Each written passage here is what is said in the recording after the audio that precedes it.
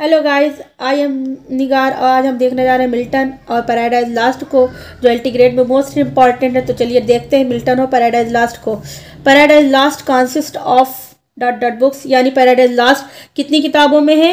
तो आंसर है twelve books यानी पैराडाइज लास्ट बारह किताबों में है। Whom does Milton accuse in Paradise Lost as the sons of Belial flown with insolence and wine and wide तो मिल्टन पैराडाइज लास्ट में किसे एक्यूज कर रहे हैं? या मिल्टन पैराडाइज लास्ट में द सन्स ऑफ़ बिलाइल किसे कह रहे हैं? तो आंसर है the cold writers.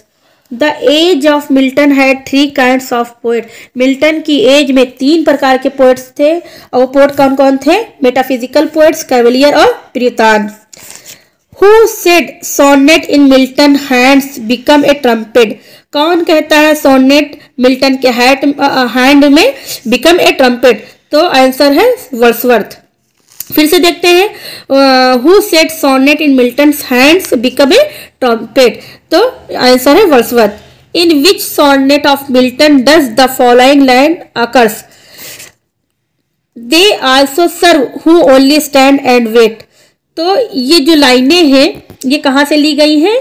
तो ये लाइनें ऑन हिज ब्लाइंडनेस से ली गई हैं। In Paradise Lost who possess the qualities of Milton? Paradise Lost में मिल्टन की क्वालिटी को कौन रखता है? तो आंसर है शैतान।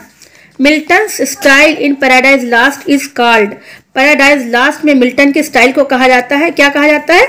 ग्रैंड स्टाइल यानी मिल्टन की स्टाइल कैसी है? ग्रैंड स्टाइल है। शैतान in Paradise Lost is compared to Paradise Lost में शैतान को किससे कंपेयर किया गया है? तो शैतान को लेव्याथन से कंपेयर किया गया। तो आंसर है Leviathan in Paradise Lost who is next to शैतान? पैराडाइज लास्ट में शैतान के नेक्स्ट कौन है? तो आंसर है Beelzebub who said Lycidas is the touchstone of poetic taste कौन कहता है? Lycidas is the touchstone of poetic taste तो आंसर है टेनिसन सो गाइज़ मिलते हैं नेक्स्ट वीडियो में. आई होप आपको मेरी वीडियो पसंद आई होगी. थैंक्स